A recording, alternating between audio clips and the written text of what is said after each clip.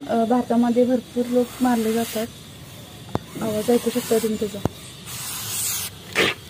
इतका लहान आहे तरी पण त्याचा आवाज बघू शकता तुम्ही तेवढा आहे. नमस्कार स्वागत आहे सर्वांचं माझ्या यूट्यूब चॅनलमध्ये तर आत्ता मला फुलेवाडी तिसरा स्टॉप या ठिकाणाहून फोन आला आहे की त्यांच्या घरामध्ये साप आला तर चला त्या ठिकाणी जाऊन बघूया. त्या ठिकाणी कोणता साप आहे व त्याला कसं वाचवतं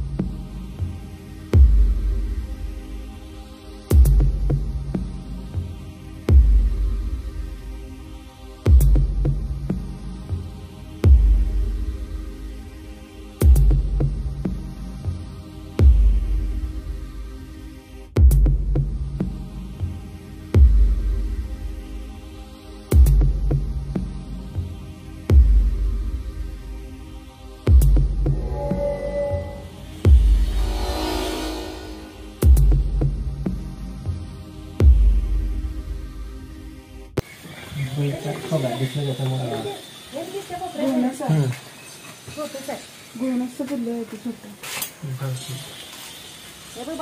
हा दिसलं दिसतं तर- तर मी आता फुलवाडी पाचव स्टॉप या एरियामध्ये आले. या ठिकाणी यांचं घराचं कंपाऊंड आहे. त्या कंपाऊंडच्या आतमध्ये एक सापाचं पिल्लू आलं आहे हे घोणस सापाचा पिल्लू आहे. जो की विषारी साप असतो. त्याच्या चाव्यापासून भारतामध्ये भरपूर लोक मारले जातात. आवाज ऐकू शकता तुम्ही त्याचा इतका लहान आहे तरी पण त्याचा आवाज बघू शकता तुम्ही तेवढा. या का? आणि तुम्ही बघू शकता हा जितका लहान आहे. हा तितकाच विषारी देखील आहे. कुठं? इथं पलीकडे. पलीकडे एवढा? आमच्या दारात परवा आलेले एवढे लांबले. काय इथं सगळं आसकाटच आहे वैतागाला आमचा जीव आला. ज्या ठिकाणी त्यांना त्यांचं खाद्य मिळतंय ना त्या ठिकाणी साप असतात. आता हे याच्यामध्ये आसकट आहे बेडके इकडे. हा बेडक्या हा, लय उंदीर. बेडके. बेडकेले उंदीर ते खायलाच साप येतात घरामध्ये आपल्या. आणि इथं आमच्या सगळीकडं अहो आसकाटच आहे. इकडं माग पलीकडं होय, इकडं गाव आलाय आम्हाला.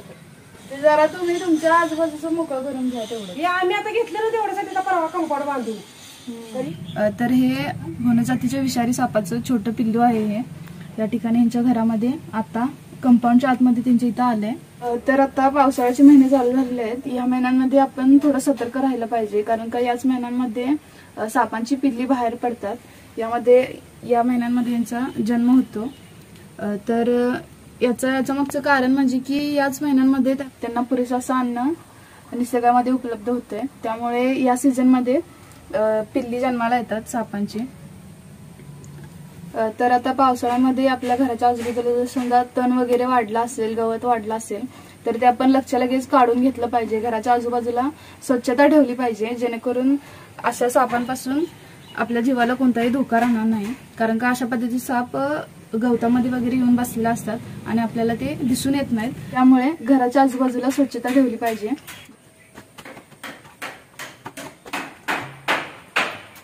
तर जास्त वेळ न घालवता आपण याला पॅक करूया.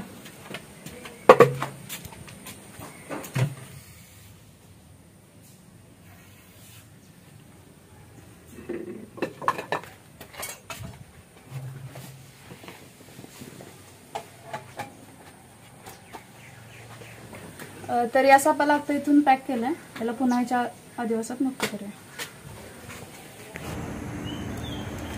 तर आता रेस्क्यू केलेल्या घोणस जातीच्या सापाला मी रिलीज करायला या ठिकाणी आले.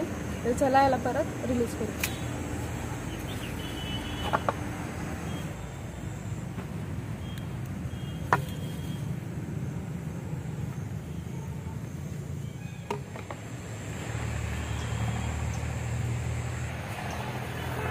अ, तर याला आता याच्या आदिवासीमध्ये म्हणजे मुक्त केलं आहे तुम्हाला माझे व्हिडिओ आवडल्यास लाईक शेअर आणि सबस्क्राईब करायला विसरू नका. धन्यवाद.